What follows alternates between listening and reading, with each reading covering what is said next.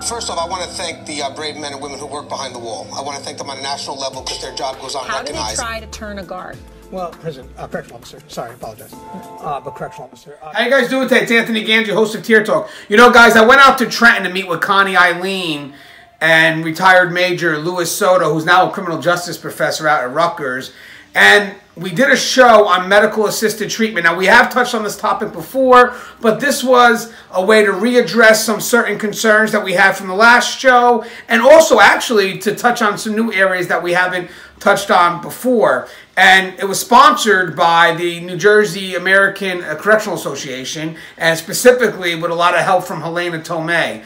Now, the show was amazing. I really enjoyed the dialogue. Guys, when I tell you this was great dialogue, it was a great balanced dialogue between custody and medical. It's dialogue that we're not having.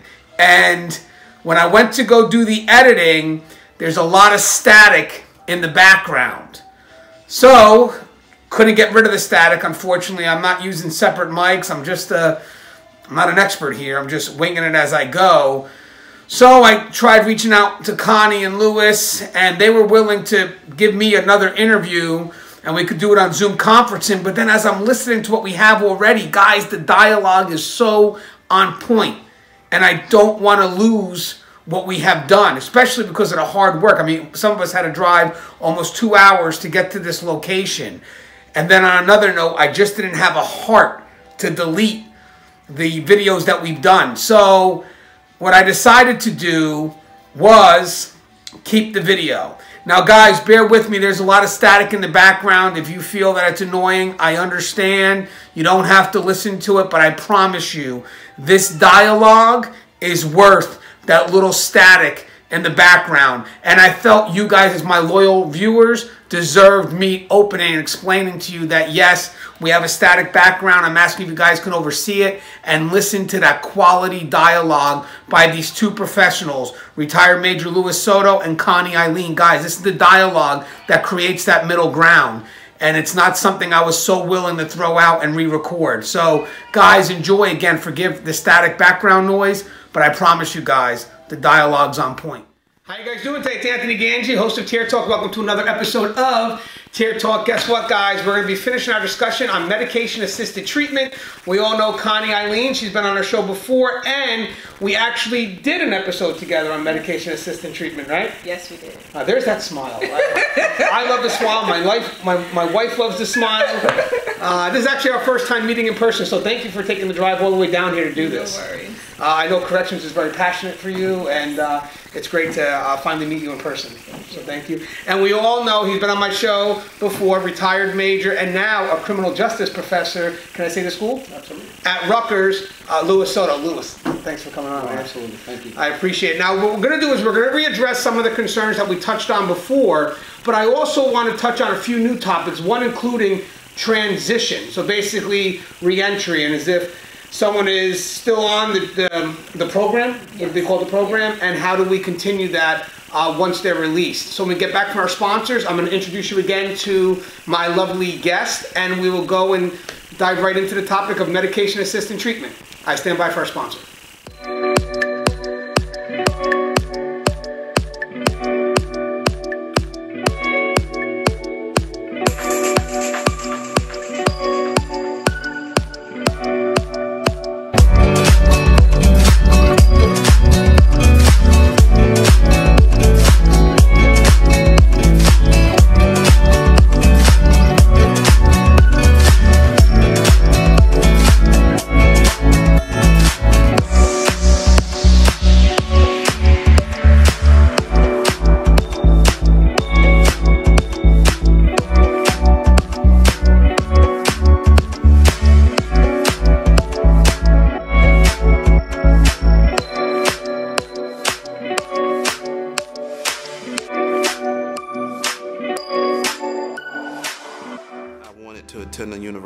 That had an intelligence program. I wanted to look at problems different. I wanted to increase my critical thinking abilities. AMU offered those avenues to expand. obtaining your degree as an adult, you're actually paying yourself and investing in yourself. You can't put a dollar on it, it's priceless. It's something that can never be taken away from you. American Military University. Learn from the leader. All right, thank you guys for listening to our sponsors. Okay, so guys, again, we're going to be talking about medication-assisted treatment. My guest is going to be Connie Alleyne. We all know her from the Correction Civilian Training Academy, and we also have Civilian Correction Training Academy. I caught it. Yeah. I caught it, and I'm going to keep it because I'm not perfect, and it's good to see mistakes once in a while. And, and uh, retired Major Luis Soto, who is now a criminal justice professor at Rutgers. So real quick, just, just uh, if you don't mind, can you reintroduce yourself to my audience, Connie? Sure, I'm Constantine Alleyne, and I'm the founder of the Civilian Corrections Academy. And right now, I'm so happy to be here so we can talk about methadone maintenance or actually medication assisted treatment in prison. Um, and yeah, it should be fun. Yeah, I, I thought we had a great dialogue last time, and I thought there was stuff that we could still fill in. But guys, if you haven't seen it, guys, we did this February 27th. It was a great dialogue. I will go ahead and post a link to the one we did last time in the description. And we had Russ Hamilton last time. He was a retired sergeant from San Quentin presenting his perspective from the custody side. Now, Russ lives in San Quentin. I'm sorry, San Quentin. No, he doesn't. Russ, Russ is a retired officer from San Quentin. He lives actually in uh, California. So I got someone just as good, uh, retired Major uh, Luis Soto. So, uh, Lou, do you mind introducing yourself to my audience? Absolutely. Um, like you said, I'm a retired major uh, after 25 years of corrections. I grew, grew in the department, and I think that starting at an early age, it allowed me to basically learn as I went along. And I have a training background. I worked at the Correctional uh, Academy as well, and that's going to be one of the aspects and topics that I'll probably bring about training for our staff during this conversation. Which So- is definitely something needed. Absolutely. I, I think as we evolve, I think that, and, and changes are coming into the system, obviously with that evolution is making sure that staff is properly trained. I believe MATs is sort of what's happening now, right?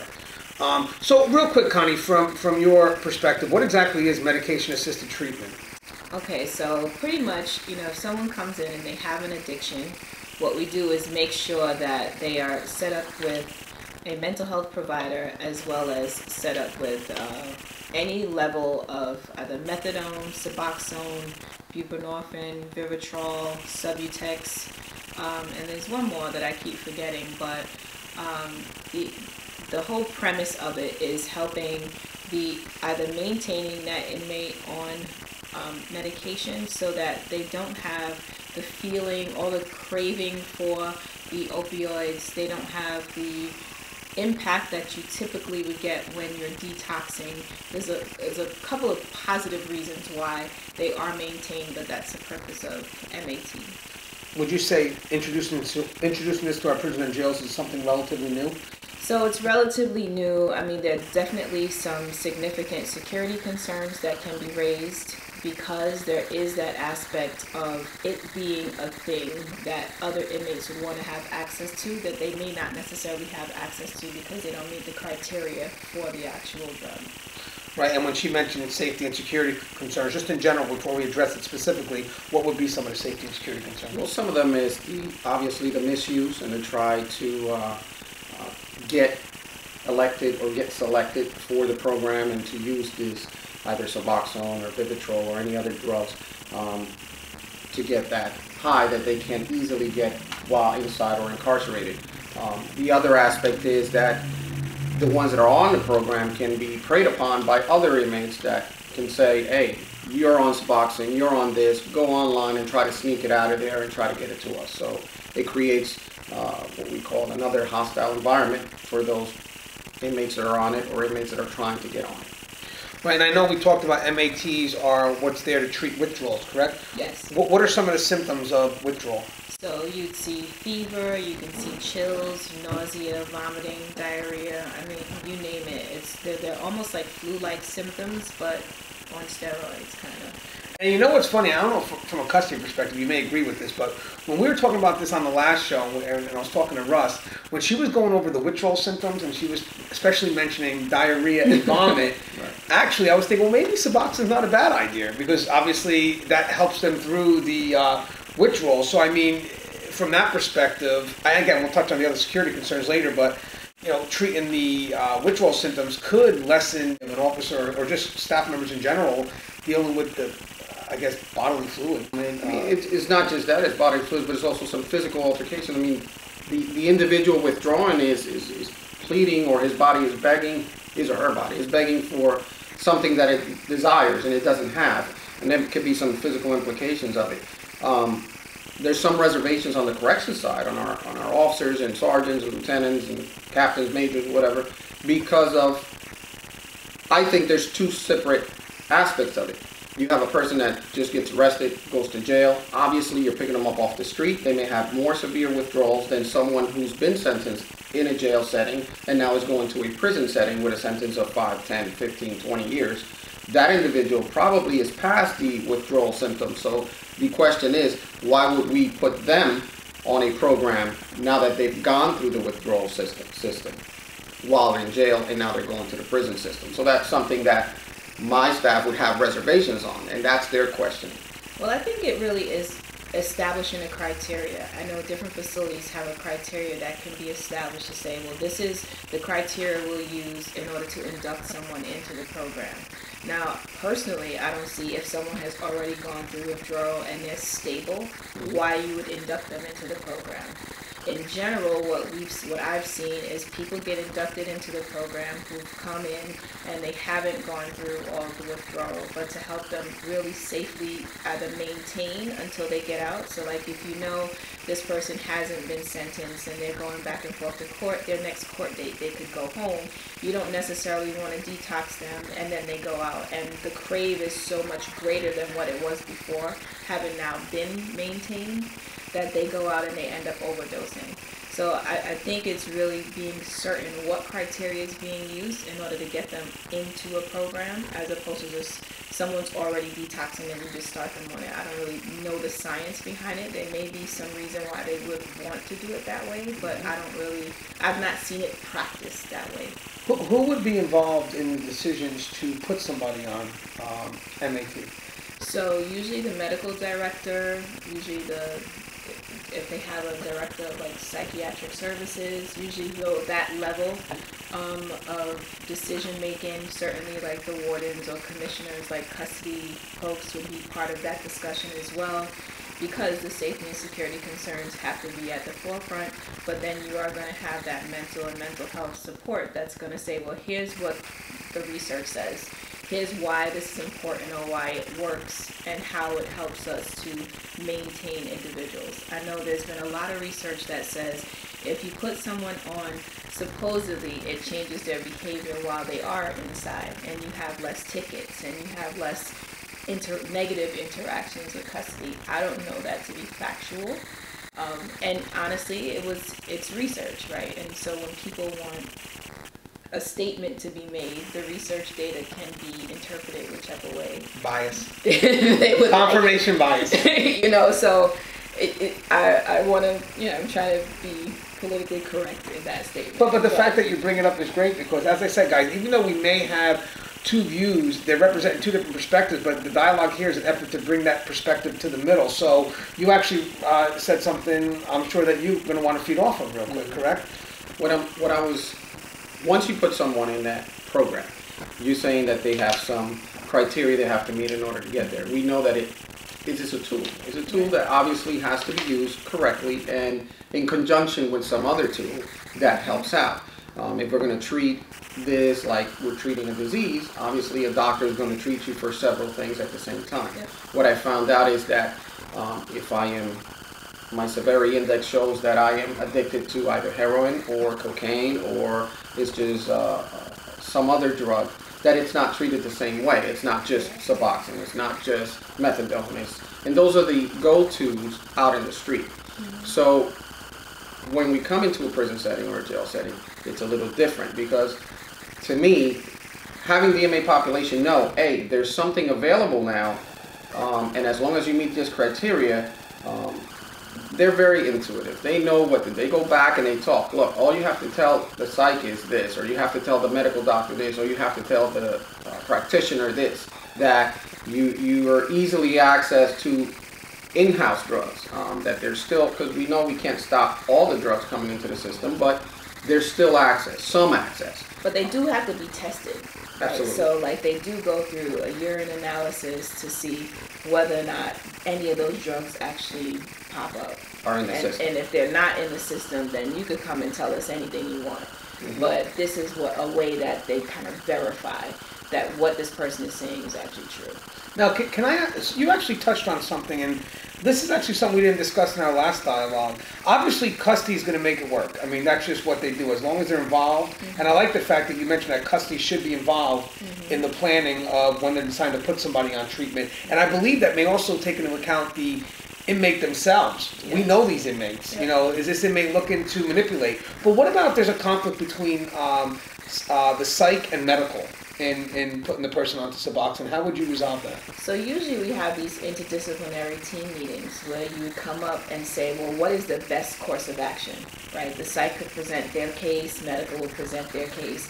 If there are other, say, comorbidities that may exist, which you referenced, like they have to take that into account. And so it may not be the best thing, even if the psych is saying so, because here are all these other medical issues that might be a contraindication to methadone or Suboxone or anything else that could treat. So we try to find the best course of treatment, and really it's a negotiation, you know? Well, and, and real quick, I don't think we mentioned the psych's perspective in this. So I know last time we touched on it too, but there is a, would it be a behavior analysis of the individual before they're put on, or some type of uh, therapy that they also have to utilize when Yes, they're on this so, program? so in true methadone maintenance programs, the expectation is not only that you get the med- the medication side of things, but that you're also in treatment. The expectation is that you're seeing a psychiatrist or you're seeing the social worker, you're going to groups, you're finding other ways to cope with these addictions, you're finding other ways to be self-sufficient as opposed to your dependency on the drug.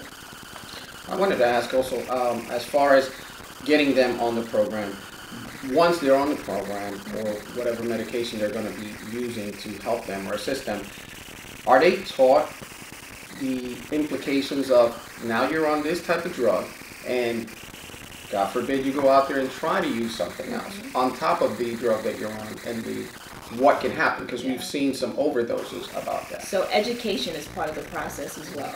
You educate them about what are all the contraindications, what are the things that happen to you when you aren't compliant with treatment, mm-hmm. what are the things that happen to you when you start throwing other things in the mix, right? So you know that ultimately this drug is not going to be as effective, it's not going to do the things it's intended to do if in fact you continue to throw other substances in the mix of that. So what do we do with someone that is prescribed Suboxone? They're coming and they're getting on that medication line at a particular time during the day. They're taking the Suboxone. We have, and- and I'll ask you about that. On that's our side. On the security side, we have some security aspects that we need to touch upon as far as how it's distributed. How do we know that they're actually ingesting it and not giving it back or taking it somewhat to the tier and then dispersing or selling it? But once you're on it and you're administered the Suboxone, and is it is there a likely a higher likelihood that they can overdose because they're on that MAT if they took another drug? Because now it's it's been our practice that overdosing is an issue, such an issue that now we try to carry naloxone on our person so that we can hopefully administer that. God forbid there's an overdose. Yeah, so I mean, I think, of course, anything in excess could lead to an overdose. And so I would be remiss to say that they can't overdose. I feel that once that they are in treatment and they begin to throw other things into the mix, anything is possible. Mm-hmm. I would I would just say that when you're in the midst of treatment, you have someone closely monitoring you, so maybe they might be less of I guess, a threat of overdose, but you never know what happens when they go back to the unit. Mm-hmm. You know, I did have the experience of an inmate being able to like get discarded discarded meds and like was just bringing it back to the unit and stashing it behind like the toilet and like giving them out like they were skittles right? Mm-hmm. Like we had she, she didn't know what she was doing like what meds she was given and people they were just taking them which i think is crazy. But it's kind of what happens you know? They're not thinking straight.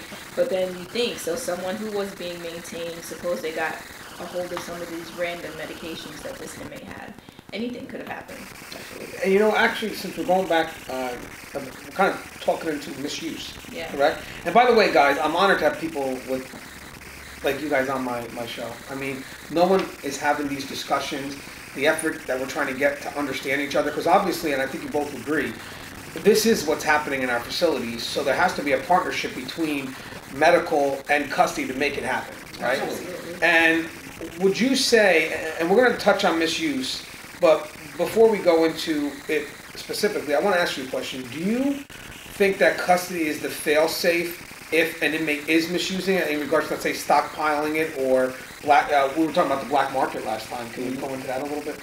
Well, that in, inherently in a prison setting, there's always going to be a black market, as you can say, uh, where any type of drugs can be misused, sold, uh, looked for. Um, but on the medical side, where we we can be the self fail safe because as they're having procedures and policies on how to administer whatever the, the MAT drug may be, um, it could be the 30 day shot, it could be the Suboxone that is taken, you know, daily or you know every other week, uh, depending on the dose.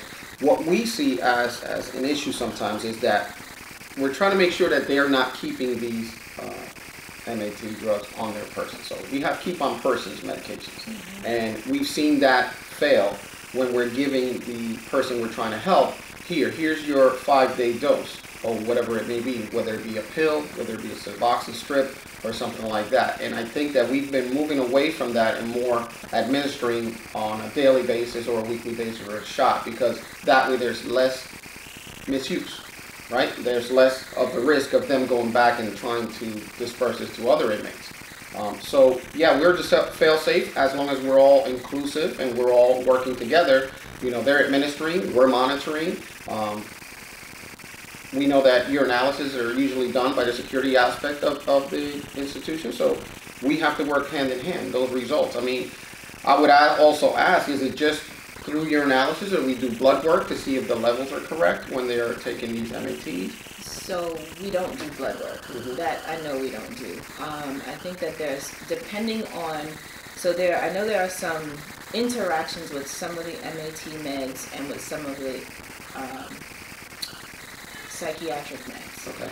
And so I think there are different blood tests that have to be done if we know that they're on these particular meds, but it's not a part of like everyone's process.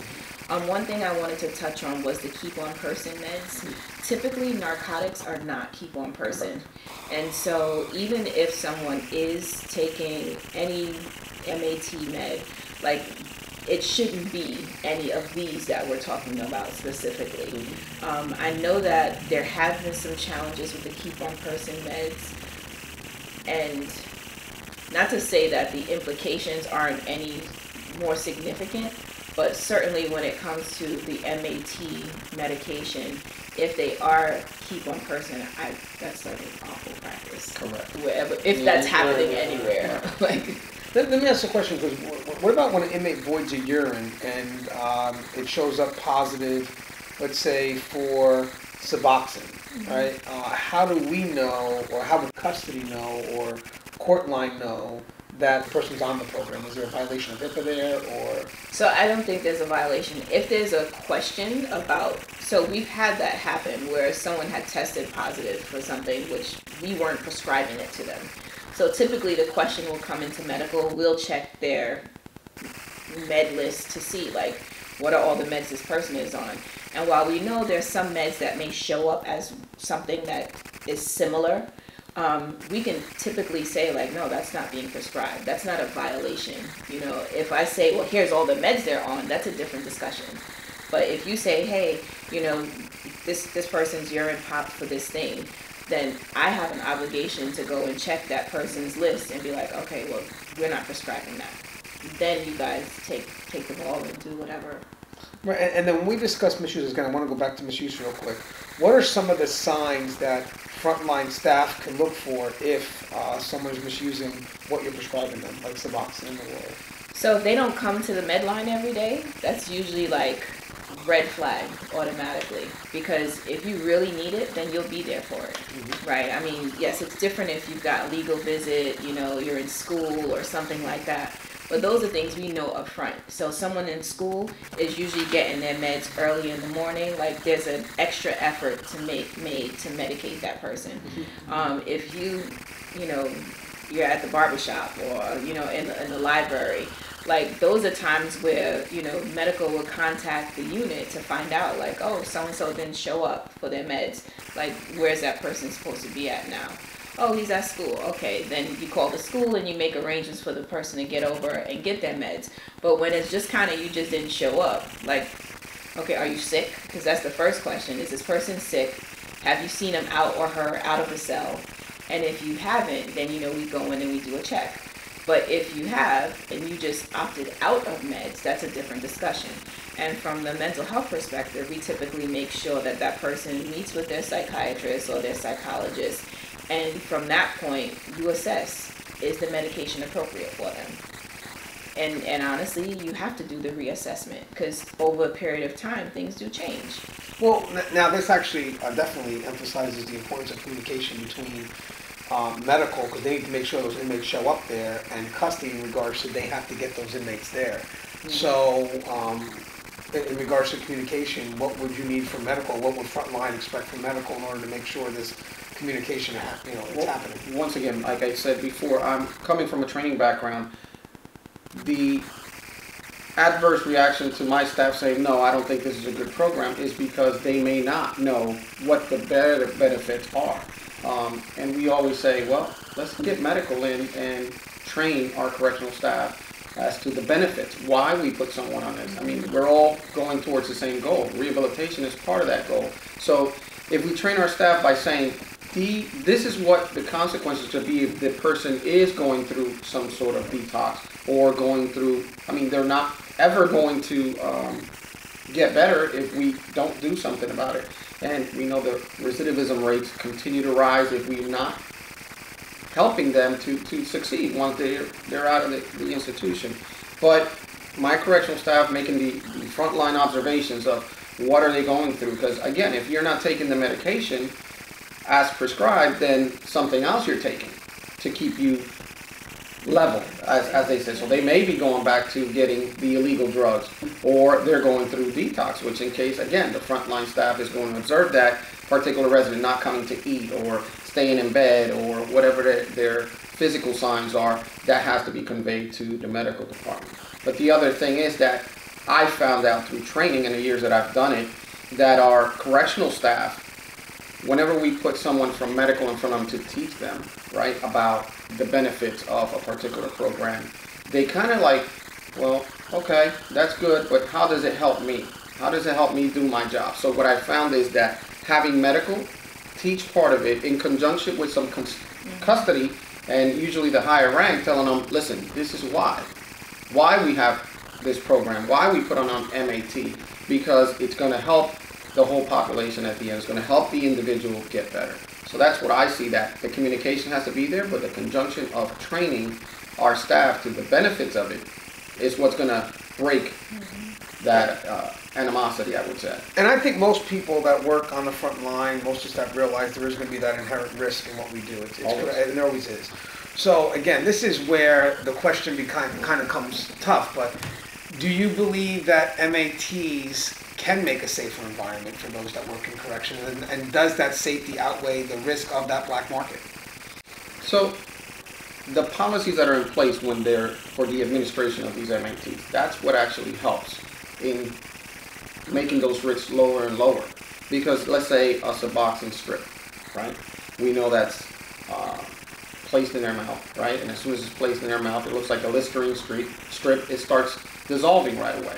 So making sure that the policy states that once it's administered, the person has to sit there for a period of time, and we're checking in their mouth. This is the conjunction, right? The medical staff will look in their mouth.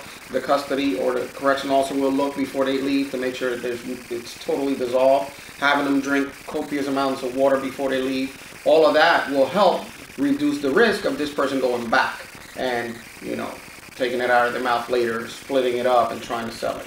Well, when we talk about that real quick, the process of the monitoring them once they're taking it, how much would you say is on medical and how much would you say is on custody in regards to making sure that monitoring is being done correctly? So let's say inmates are bringing it back. uh, we have to obviously address both parties, but I would say the fail-safe would really be on, and these guys, hope you guys don't get mad about this, but custody, mm-hmm. because they are involved in that. I'm gonna say it's a search act, actually, looking into their mouth and making sure it's being taken. So where would you, as a custody supervisor, where would you, how would you try to address that? Well, the, the way we address it is the only way we know how. It's by putting post orders in place, policies in Right, right. place that our supervisors must, you know, enforce. But when we say. But are those policies in partnership with medical's policies? Well, medical has a- their own policies as well. So I'm not gonna say it's their responsibility to check, it's our responsibility to check. It's both our responsibilities.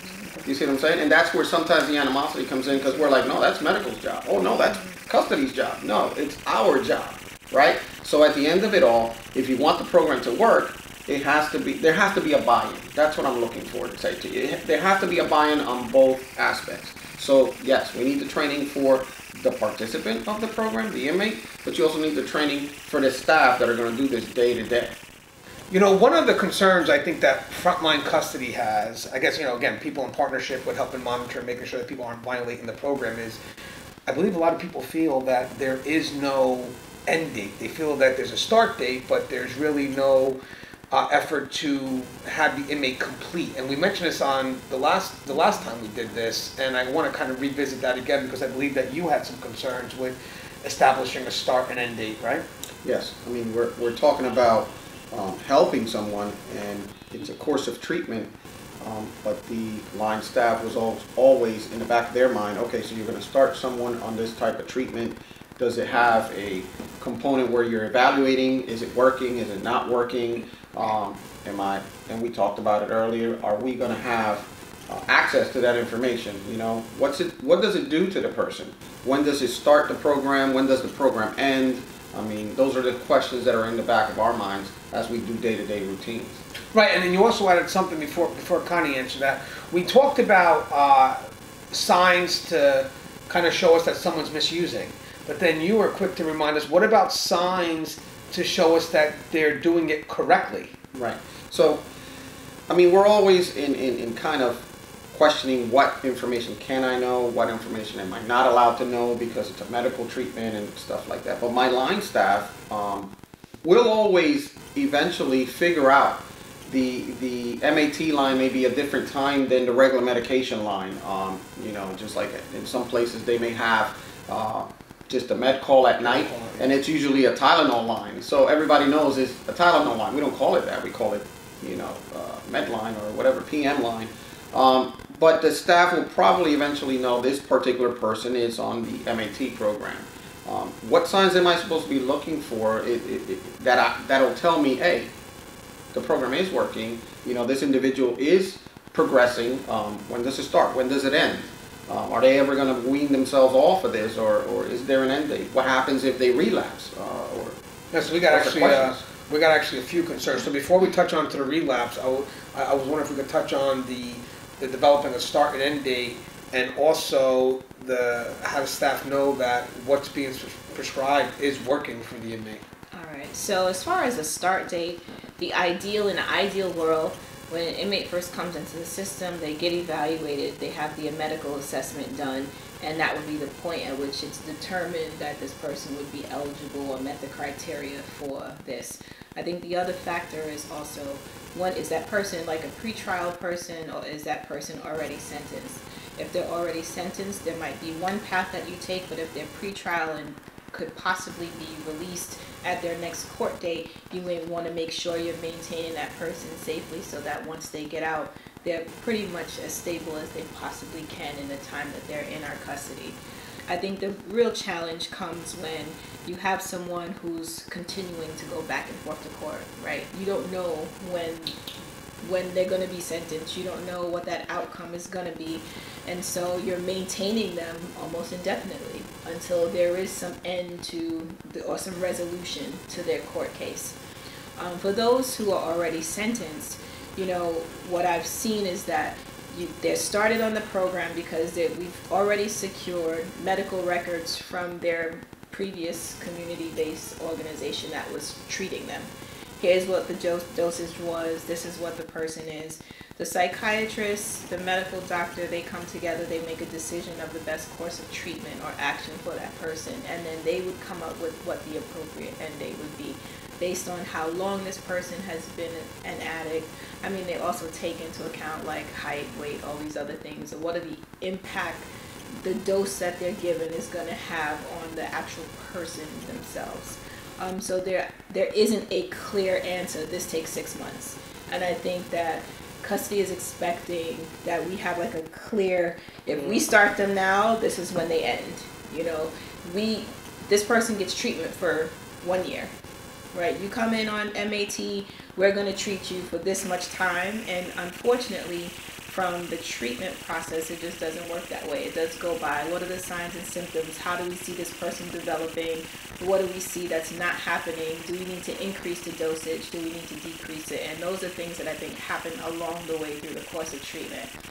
So I think what also becomes challenging is that medical doesn't report that out, right? That isn't information that medical is going to come to custody and say, hey, by the way, the treatment is working for these folks and this is where we are, right? Like that's just not how it works. Um, can we create some sort of communication mechanism? I think it's a possibility without saying here are all the meds this person's on, but we can say these folks were inducted these days. These people are still stable. These people remain, uh, you know, we, we continue to evaluate these folks. I mean, I think there is a way to provide information so that there is that balanced picture of what's actually happening. But I think there's also the mindset that we have to address, which is there are many people in medical who are going to think, why do you even need to know? Right? Why do I need to tell you what's happening? All I need you to do is bring this inmate to medical at two o'clock every day, and that's like all that's my obligation to you but I feel in order for everyone to have buy-in to this process, that is really a hot topic, that there's so much controversy around it, that right now there should be open dialogue about what exactly is happening, how they're being treated, what are the impact of the treatment, because I think the other side to that is once the inmate goes back to the housing unit, medical has no idea what's happening with the inmate right? We don't know that you you see that this inmate is not functioning well or that this inmate hasn't eaten. Like we won't see that. So I think the medical side is missing out on the, the other side of the picture as well as you guys missing out on what's the treatment how is it working like I, I think that's really a two-way thing that there is no start no end date which is something more definitive and concrete that you guys would like but I think this also that we're not sharing information up front and we're also not getting information on the back end So, so understanding is what's the main priority here. You know, my line staff will not understand that this is a necessary, uh, if you can say a necessary evil, right? In order for a treatment plan to be implemented and help the individual, right? And that's part of our goal. Um, my line staff should probably be trained, right?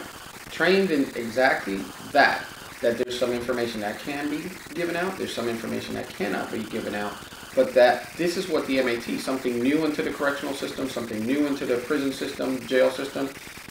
You know, when they first come in, we give them training. That should be part of it. That should be entirely uh, its own little block of instruction where this is what we do and why we do it and how we can help medical, you know, implement this even better. And obviously, we, we touched on that before with the communication.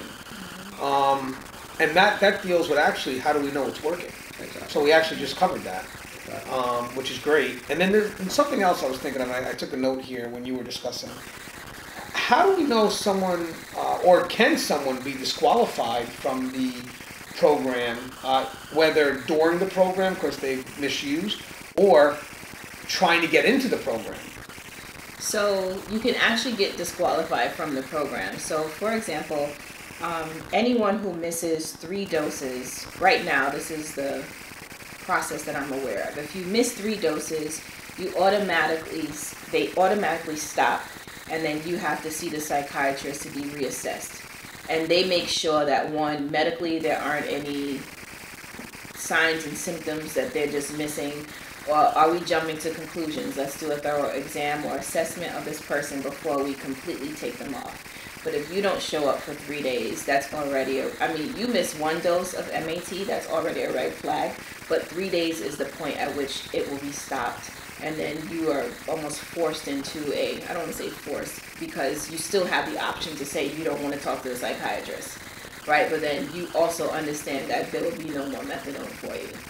So it's not like you can have one without the other Right now, that's for those that are already involved in the program, correct? Yes. So what about if someone's trying to get in the program and can, I mean, is this something that we automatically provide to somebody? Okay, so No. what would disqualify them? So, so I mean, I think it's nothing new that inmates are doctor shopping, right? Like they they say they'll mm-hmm. write out and say, oh, Miss Connie, this this doctor don't know what they doing, blah blah blah blah blah. Then I'll meet with the doctor and figure out what's going on. Oh, he was asking me to prescribe him, you know, Tylenol with codeine, or asking me for this thing, and I'm like, oh, okay, so that's what's happening. Then they'll jump to the next doctor. So they'll write for sick call. They might want to ask to see a specific doctor. We don't do that. Like you can't just ask for, you know, let me let me see Connie today. It doesn't work that way. Um, and so when they're in that process, that's already a red flag that someone's trying to get into a program that they clearly don't meet the criteria for, or else they would have been flagged in a, in a, in a more appropriate way. Which is we do a review of all the intakes. We look at where everyone, where, where like everyone comes in and look to see like, okay, here are the things that were um, flagged when they did the urine analysis. Certain parts of the intake process are automatic. So once you come in, you have the analysis done, you're automatically set up with medical if you're diabetic or if you're hypertensive or if you come in on certain meds. You're automatically set up with a psychiatrist if you come in and here are all the psychotropic meds you're already taking. So if you didn't pop one of those ways, that's an official way for you to show up in medical, and all of a sudden you're asking to be a part of it, that's already questionable. And now you mentioned concerns about relapsing, right? Yeah, because if a person is in the program, MAT program, and they fall off of it by, you know, having access to illicit drugs, buying drugs, now they're using, and now they're tested and they come up positive. Um, obviously, we have a disciplinary process that we would follow um, as far as punitive damages for them being on drugs or whatever the case may be. But are they then taken off because they just relapse? Because, I mean, it happens in the street all the time. Somebody's on a program and then, you know, hey, I messed up and, you know, we don't necessarily tell them, hey, we're going to stop you from doing an MAT program. How does it help or how does it work in this instance? So I mean, really, it is about reassessing, right? Like you look to see like what what what did this person actually take? What was the relapse? And you try to figure out is there something in the treatment process? Initially, that's what we look at. Is there something in the treatment process that we missed that didn't address this particular inmate's need? If there was something we missed, then we go back and try to look at what is our policy and procedure and how do we miss this thing.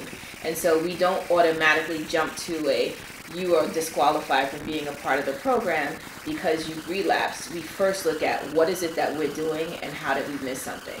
Then we'll go back and look at well, what are all the other circumstances surrounding the relapse? You know, um, many times you have like the inmates got a letter or they got they had a call and the phone call didn't go well something happened with you know one of their children and they heard about it and it sent them down a path that they wouldn't have normally taken and so the psychiatrists and like the mental other mental health providers are really going to look to stabilize that person mentally and then reassess whether or not MAT is appropriate for that person. So we as medical don't typically get involved in the punitive side of things. I think that really comes in when you look at what is the criteria for being a part of MAT. And if the criteria is established, which you've now gotten buy-in from all the stakeholders, right? So you typically would have medical, mental health, and custody a part of establishing that criteria. Of course, there'll be a medical side because there are certain things medically that have to be followed in order for someone to be a part of a program. But I think in creating that criteria, it's looking at what are the security concerns that are raised, and are there ways for us to mitigate some of those concerns with this criteria we're establishing? So, are there consequences for not showing up? medical will typically say we're not a part of the consequences. We're not here for the punitive side of corrections. We're here to provide medical care. Mm-hmm. You know, but if there is something that comes up that I think should be of a concern, like so, if you guys come and say, "Oh well, you know, we noticed that you know this guy was coming to get his meds, but you know he was he sells it, or you know he's somehow involved in." something illicit on the backside. We might not be aware of that, but if it is the next step that says he can no longer participate because he's clearly not in need of it, medical is fine with removing them. Let, let me ask, I don't know, hopefully this question makes sense, but where's the greater risk? The potential for the relapse or the withdrawal? I would say with the withdrawal. I mean, uh, so so you know that the relapse is there's a possibility, right? And we can't really control if this person is going to overdose, like what they're doing that is in that relapse space, right? But when they're going through the detox between the chills and the shivers and all the physiological things that are going on with the body, sometimes it's very hard to bounce back. And so, if you've ever seen someone going through detox and there hasn't been a med- medical intervention, that person could die from that. So from, from the withdrawal? Yeah. Yeah, we've seen some Yeah. cases that, that happens that, you know, dehydration is the biggest one. Yes. Because of, you know, going through that re- detoxing, um, you know, if they're not medically seen and, and, you know, you can see that. Those, those are physical signs. The person can't get up out of bed, can't walk, can't, can't, can't function. Your brain starts shutting down and your system starts shutting down because of that, um, detoxing. So I wholeheartedly say this is something that's necessary at that initial stage when you are in jail and you're coming off the street and you may be addicted to any type of drug, obviously, and, and, and it works well there. Um, sometimes you hear that, that it's just the repercussions or anything that hesitation once they get into prison because you figure that they've gone through that aspect but like Connie just explained, so now they've gone through the the real methods of getting onto the MAT system or the program because they were seen in a jail setting. Now they might have been sentenced. Now we know they're going to be with us for a long period of time, um, five years, ten years, whatever your sentence is. So, you know, line staff will always be looking. Well, you know, their thought is we're replacing the drug with another drug. You know, now we're becoming the suppliers of the drug, and that's where the mentality comes in. That oh, are, are we the drug dealers now? That the, the person, but they don't understand the, the connection where we're not being the supplier. We're just trying to be the assistance or help or aid in removing them from that addiction that they have. Right, and that's where that cross perspective understanding of what medical is trying to accomplish and what custody. And again, guys, I think the common solution now is just the open communication that I don't feel we have. And, it was funny because we touched on that before between custody and just overall civilian staff. And we've actually uh, did a video together on medical and custody communication. And then, like you mentioned before, how some may feel that they're above, and maybe custody may feel that they feel that they're below, and you know, a whole, a whole string of, of concerns. One last thing before we talk into, about reentry. What are eh, what are some of the conflicts when you try to initiate a uh, MAT program inside a prison or a jail? Like from a medical perspective, so you're trying to initiate the program. What are some of the uh, kickbacks you get uh, in regards to starting the program fresh, outside of the safety and security concerns? Maybe something more on an administrative level. Well, I mean, I think for us, initially trying to start the program was where would we do it from, right? So, like, you've got your normal med window, which you have all of your regular meds set up there, but because you know, most of the MATs, as far as I know, are all controlled substances. You have to have that room locked. There's like a whole process around securing those meds so that no one can gain access to it and that there's no way that meds could be diverted. Um, making sure that wherever that is, that nurse is safe because people want the meds. Like that's that's just a fact, right?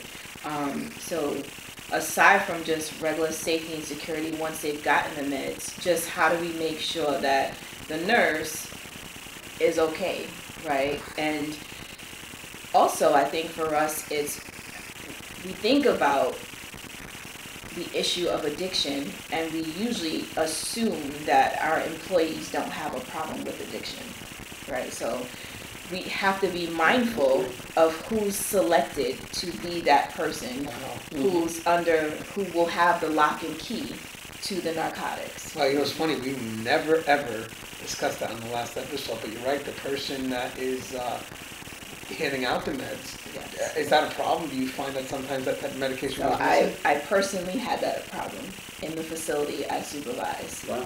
where we actually terminated the nurse. We walked her out, and it turned out, I mean, she had an addiction history, which they usually say most addiction counselors are the best counselors because they've had some personal experience with the issue.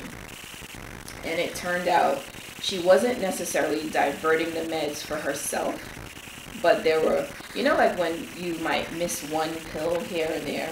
It wasn't like you're missing something significant. I mean, and because it's a narcotic, you've got the DEA who's showing up at the facility. The warden is like, what and what is going on here? Like a lot happens when you've got things like that going on.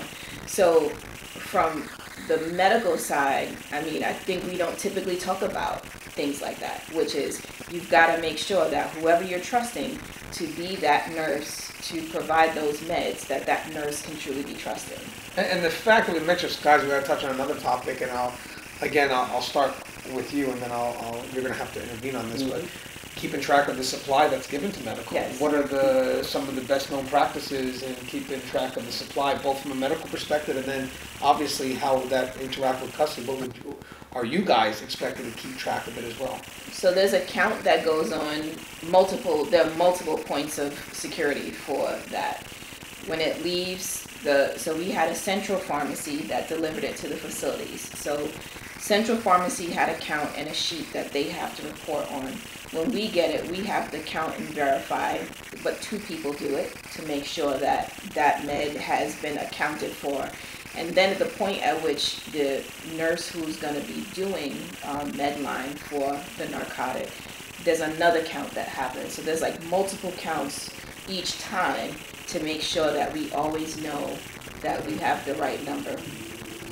Well, you know, in most correctional facilities throughout the United States, including here, um, we all follow ACA guidelines, um, of which I'm a member of, as you know. Um, and one of those guidelines that they have, and during the audits we learned is, is that we have to account for not only narcotics, we also have to account for discharge.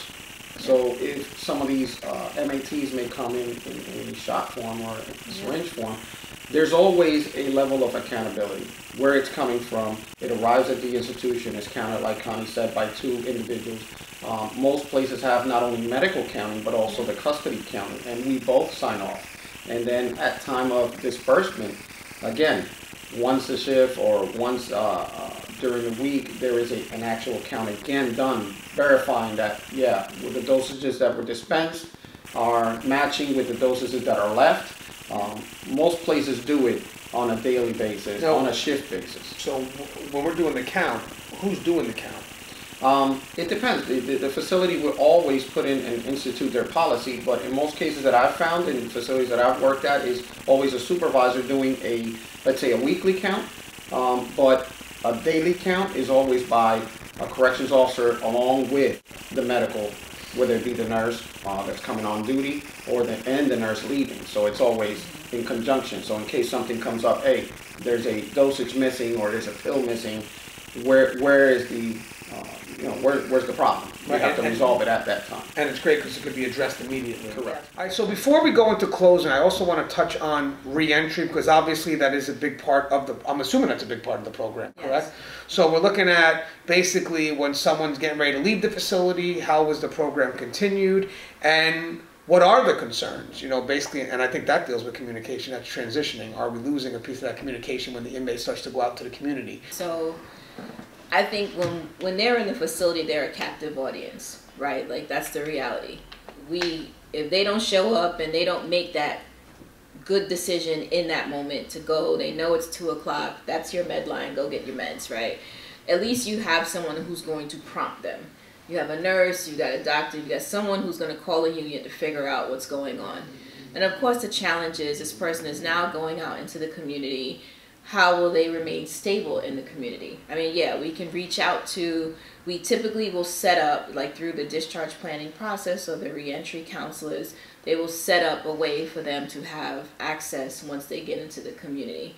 But of course, it's the challenge of, you know, medical insurance. Are, the, are those things in place by the time they're ready to go out? Sometimes they are, and sometimes they aren't. And it's one thing to say, well, we can give a prescription, but who's going to fill that prescription? Right? Without there being some way to comp to pay for that prescription being filled. Um, there are different programs in the community that some support and some don't support it. Some have the resources to be able to send, you know, their workers out with the or for the offender to go get, you know, the methadone or the suboxone. But that's that's like kind of the ideal situation, and that's really not the reality each time someone goes out into the community. So there's always that how do we make sure there's a continuity of care once that person is released and we, we really don't have a way to do that. So you think that out of what we discussed about the program, mm-hmm. you think this is the biggest need that still has yet to be addressed? Yes. Well, now obviously being involved in reentry, um, what are some of the concerns you see from the other end? Now you're getting these inmates that may be on MAT. Well, that's the, uh, the, challenge that we have. I mean, we know that whether they're in prison or they're in, in a reentry program out after prison, um, we all work with a budget, right? We all with, have to work within that budget. So the same um, issues and concerns that they have while in prison that, you know, what can I put them on? How much money is there in that budget set aside for an MAT program? Is there money set aside for the follow-up after they get released? Um, now you're coming to a reentry facility that works under contracts, under budgets as well. Do we have their medical uh, set up so that the medication can be paid for, can medication can be covered, or does that reentry facility have to fit the bill for that? And, and maybe they're going to a lesser type of MAT that now we're not looking at the person's uh, best health or best interest as opposed to oh I got to work within this budget. So those are the challenges as well. And then making those contacts with those outside sources that once they leave us, you know, are they going to get the help they need while they're out? Who's supplying them? So like if you do let's say the program does have a successful transition and let's say they either make it to a residential release, uh, more so the residential release, let's just deal with that who would supply the inmate with the Suboxone? We're not going to keep it on their person, correct? So who supplies it to them at that time? I mean, I know that there are clinics that they're able to go into and, and get that sort of treatment and follow up, but um, I don't think that.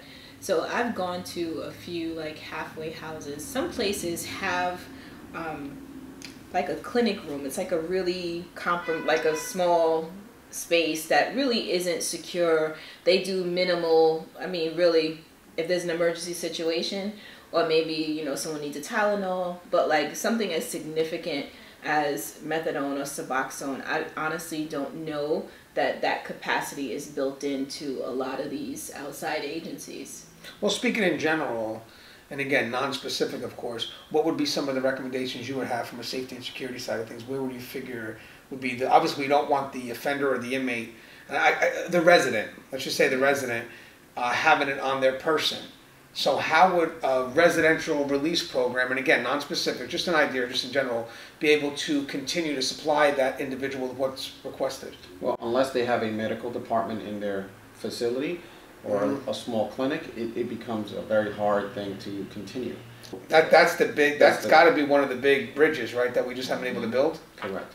So, I mean, if any type of correctional setting is sending someone out to the facility and they're under an MAT program, they have to factor that in, that will they be serviced correctly at that halfway house or at that program? Um, are the facilities capable of continuing the care? And if they're not, then they should think twice before sending them there you know, or find other ways or other means to, you know, have that transition into I'm sure civilian life. I'm sure people probably thought about this, but would one of the means be that that facility drives them back to the institution? That can happen, but it always there's a cost within your budget. You know, how many times do I have to take them back to the facility?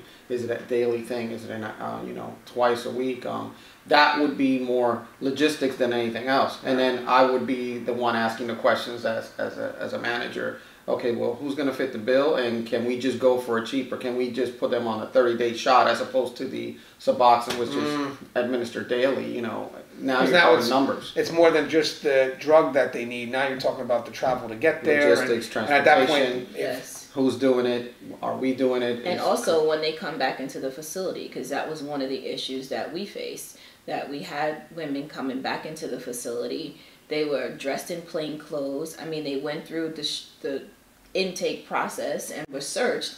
But is there a contraband concern that we need to have because they're coming back into facility and they're now in like plain clothes and there's like all this other stuff that kind of it opens the door to because they're coming back for meds they're technically free, Right. right? But then old habits die hard, I guess. All right, so obviously, I think this was a great discussion. Again, it is a discussion that we revisited. We have done it before. We had Russ Hamilton on with us last time, but I thought there was a lot more that we could explore, and I thought we actually uh, did uh, cover a lot of new uh, territory. Obviously, we revisited some of the old, but we definitely covered a lot of the new that we didn't get a chance to last time. I'm still not done with this conversation, guys. I still feel I may want to discuss, and hopefully Connie and your and uh, uh, Lou, if you're willing to come on with me next time, I still want to discuss juveniles and MAT.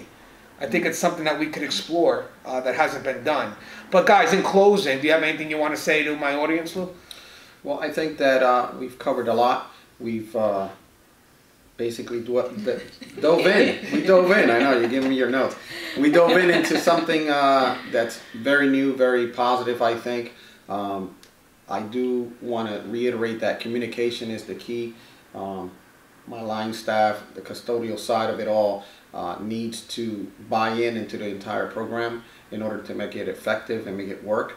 Um, we always talk about corrections being part of rehabilitation, being part of corrections, and I think that the more we move towards that, um, we can bridge the gap between corrections and medical and getting that communication that's necessary in order to get these programs to work.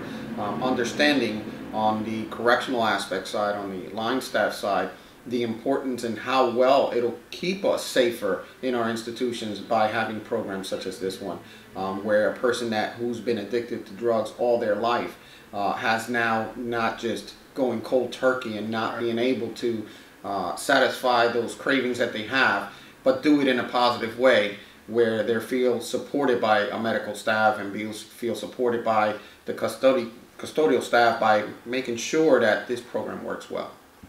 And what's your thoughts, Connie?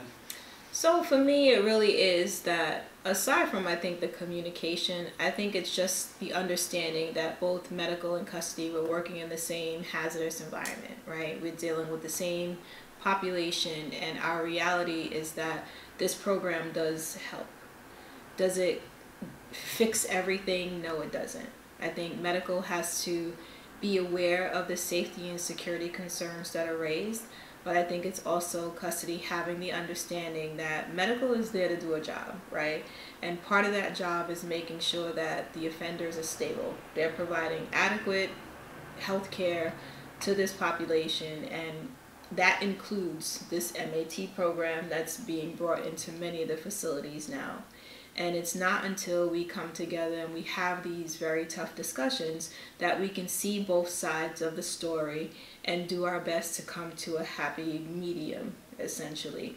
Because ultimately, the addiction problem isn't going away, it's only getting worse. I gotta tell you, happy medium makes administration very happy. You know, and uh, before I go into closing, I just want to mention too. I'm going to kind of comment what you guys said, but there is an importance of communication. We don't work in an isolated manner. We have to get the mission done.